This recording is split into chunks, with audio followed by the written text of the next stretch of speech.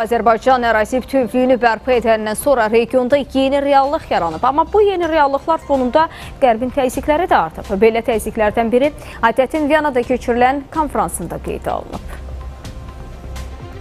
Azərbaycan dini radikalizm və terrorizmə qarşı fəal mübarizə aparır. Məhz bu sahədə Azərbaycan uzun illərdir ki, Birləşmiş Ştatlarla sıx əməkdaşlıq edir. Bu fikirləri Demokratiya və İnsan Haqları İnstitutunun rəhbəri Əhməd Şahidov oktyabrın 7-sində ATƏT-in Varşavada keçirilən Fundamental Azadlıqlar, Sərbəst Toplaşmaq Azadlığı və Dini İnanc Azadlığı adlı konfransda deyib. O, Amerika Birləşmiş Ştatları səfirinin Azərbaycanla bağlı tənqidi fikirlərinə cavab olaraq bildirib ki, ölkə əhalisinin 95 faizi müsəlmandır. Həbs olunanlar isə ölkədə dini radikalizmi dəstəkləyən və terror törətmək istəyənlərdir. Şahidov həmçinin Birləşmiş Ştatlar qüvvələri Əfqanistanda olanda Bakı ilə Vaşinqton arasında mövcud olan strateji əməkdaşlığı xatırladıb. Amma Azərbaycan ərazi bütövlüyünü bərpa edəndən sonra qərb dairələri ölkəmizə qarşı ikili standart tətbiq edir.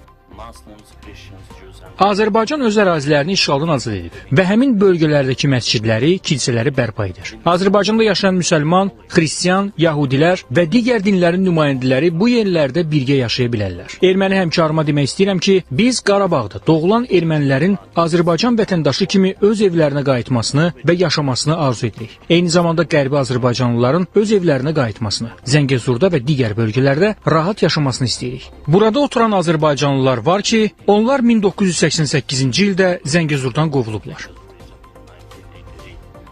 Amma nə Qərbi Azərbaycandan, nə də Qarabağdan köçürülən Azərbaycanlıların taleyi Qərb üçün heç vaxt maraqlı olmayıb. Ermənistan beynəlxalq hüququn bütün norma və prinsiplərini pozub, torpaqlarımızın təxminən 20%-ni 30 il işğal altında saxlayanda, etnik təmizləmə siyasəti aparanda, Xocalı soyqırımını törədəndə, bütün şəhər kəndlərimizi viran qoyanda ona gözün üstə qaşın var deyən olmayıb. Aydın məsələdir ki, burada ABŞ-ın əsas məqsədi insan hüquqları və ya hansısa dini və ya etnik qrupların hüquqlarının pozulması deyil.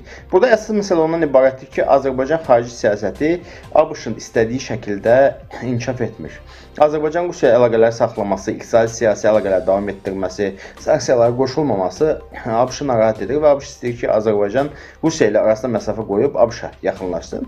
Digər tərəfdən ABŞ-ın istəyi odur ki, bölgədə tezliklə Azərbaycan-Ermənistan sülh müqaviləsi imzalansın və ABŞ e, Rusiyanı sıxışdırıb Ermənistandan çıxarsın, Ermənistan hava sahəsində Rus hərbiləri nəzarət ələ keçirsin və Ermənistandakı Rus hərb bazasını oradan çıxararaq mö- möhkəmlənsin. Yəni faktiki olaraq Rusiyanı Qafqazdan qovsun və Şimali Qafqaza doğru geopolitik məkan qazansın. Amma Azərbaycan dövlətinin mövqeyi qətidir. Dövlət başçısının oktyabrın 4-də Cəbrayıl sakinləri ilə görüşündə səsləndirdiyi kimi heç nə bizim iradəmizə təsir edə bilməz.